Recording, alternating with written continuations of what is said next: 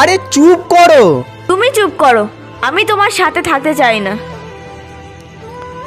এটাই তোমার দোষ। ঝগড়ার মাঝখানে হঠাৎ আনন্দর কথা বলে ঝগড়ার মজাটাই নষ্ট করে দাও।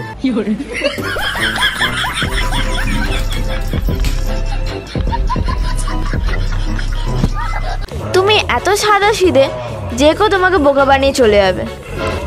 হুম শুরু তো তোমার বাপই প্রথম করেছিল।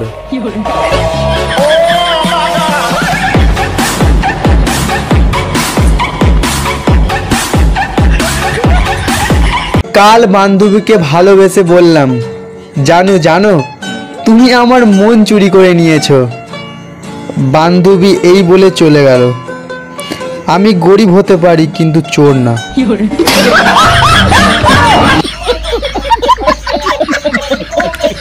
আচ্ছা তিথি প্রেম যদি অন্ধ হয় তাহলে বিয়ে কি? বিয়ে?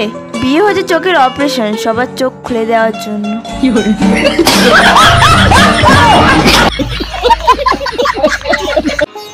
তুমি বাইরে গেলে আমার খুব ভয় লাগে।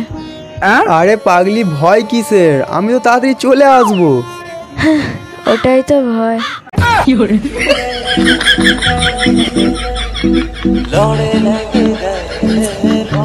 কিছু মানুষ ধন দৌলতের জন্য লড়ে আবার কিছু মানুষ জাত ধর্ম নিয়ে লড়ে। একমাত্র স্বামী স্ত্রী যারা নিঃস্বার্থভাবে বিনা কারণেই লড়ে।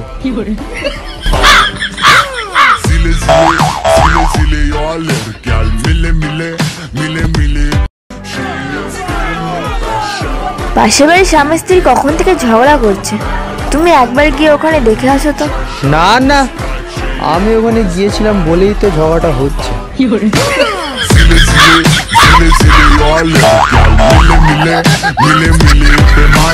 ওগো শুনছো? ডাক্তার আমাকে রেস্ট নেওয়ার জন্য প্যারিস বা সুইজারল্যান্ডে যেতে বলেছে। তা আমরা কোথায় যাব? হ্যাঁ অন্য ডক্টরের কাছে।